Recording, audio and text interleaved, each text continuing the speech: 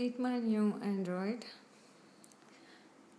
This is made from a real um, skeleton prototype. It's got joints and stuff that like you see in a model of a skeleton.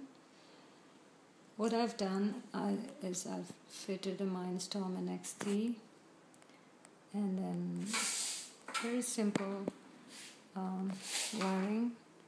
It's got a hand fitted with a motor and uh, just held in place as you can see.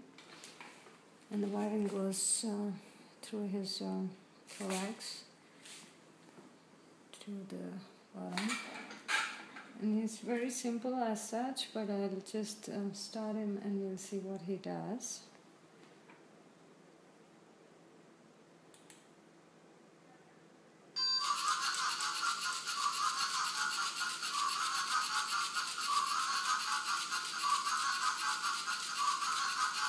He's able to breathe.